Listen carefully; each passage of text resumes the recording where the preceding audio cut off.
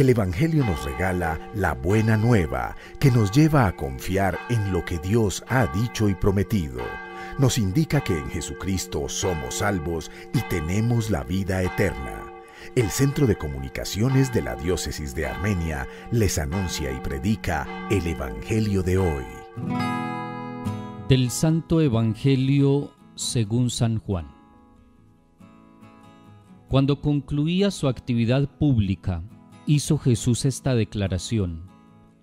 El que cree en mí, no cree en mí, sino en el que me envió. Y el que me ve, ve al que me envió. Yo vine para ser luz del mundo, y así el que crea en mí no quedará en tinieblas. Al que escuche mis palabras y no las obedezca, yo no lo condeno, porque no vine a condenar al mundo, sino a salvarlo. El que me rechaza y no acepta mis palabras, tiene quien lo condene.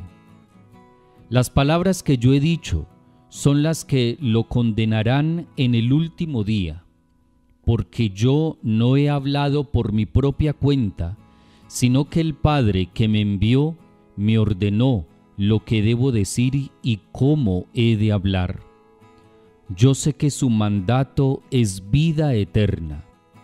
Lo que yo hablo, lo hablo según me lo ordenó mi Padre. Palabra del Señor. En la fiesta de la dedicación del templo, Jesús ha decidido proclamar en medio de todos el misterio de su persona. Es el enviado viene de parte de Dios. Más aún, dice, el que me ve a mí, ve al que me ha enviado. Se trata una vez más de la gran disyuntiva.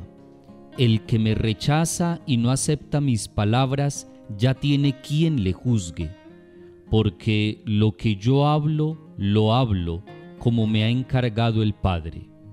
Jesús ha venido a salvar, y el que no le acepta, él mismo se excluye de la vida. Esta vez la revelación de su identidad la hace Jesús con otra muy expresiva.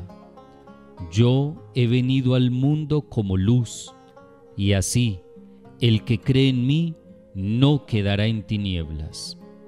Se trata de la misma imagen que aparecía en el prólogo del Evangelio. La palabra era la luz verdadera cuando se, se identifica diciendo, yo soy la luz del mundo. Nosotros, seguidores de Jesús, somos hijos de la luz o todavía tenemos zonas de penumbra por miedo a que la luz de Cristo nos obligue a reformarlas? Ser hijos de la luz significa caminar en la verdad, sin trampas, sin escondites. Significa caminar siempre en el amor sin odios ni rencores. Pues, dice el mismo San Juan, quien ama a su hermano permanece en la luz. La tiniebla es tanto dejarnos manipular por el error como encerrarnos en el egoísmo. Abrámonos a la luz, abrámonos a Jesucristo.